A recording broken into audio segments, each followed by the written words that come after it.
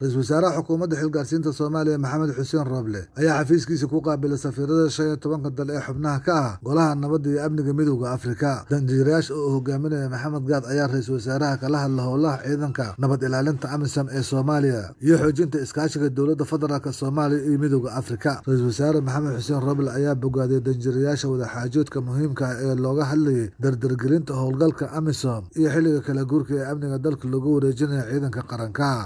Roble ayaa xusay in dowladda federaalk soomaaliya ay ka go-an tahay sidii loo adkeyn lahaa iskaashiga ay la leedahay waddamada gobolka iyo guud ahaan dalalka afrika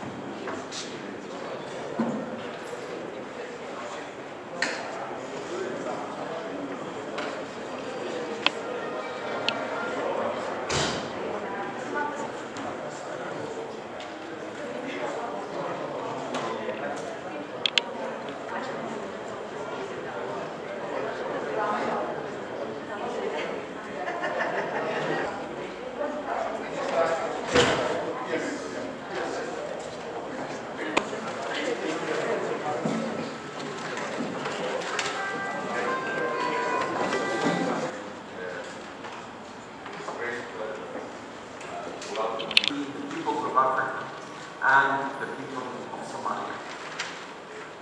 Both the government and the people of Somalia strong. It's a hospitality. Uh, dear member of the African family, the commitment of the AU, the PSC, but also to enhance, ultimately to use that in reaching a way forward in the to the signals, the messages that we receive. We have